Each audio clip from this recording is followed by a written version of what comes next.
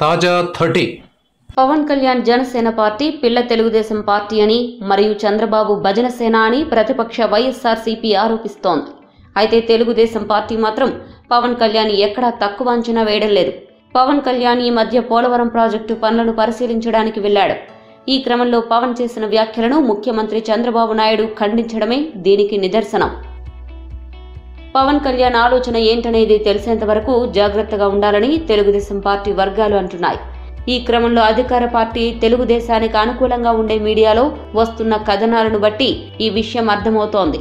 ఇటీవల పర్యటించిన పవన్ కళ్యాణ్ తన అన్న అయిన చిరంజీవి గురించి కూడా ఇప్పుడు చాలా మంది గౌరవంగా మాట్లాడారు. ఆ కథనం ఏంటంటే జనసేన పార్టీలో చిరంజీవికి పెద్ద పదవి ఇస్తారని రాసింది. అలాగే అధ్యక్ష పదవి ఇస్తానని కూడా రాసుకొచ్చింది.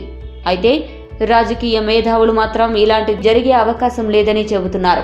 ఇలాంటి కథనాలు విడుదల చేయడం ద్వారా లేనిపోని ఊహలకు అవకాశం ఇచ్చి తద్వారా పవన్ పెరుగుదలను మొదటే అడ్డుకోవాలన్న ఆలోచన ఉందని ఆయన సపోర్టర్లు మంచిది కాదని అన్నారు.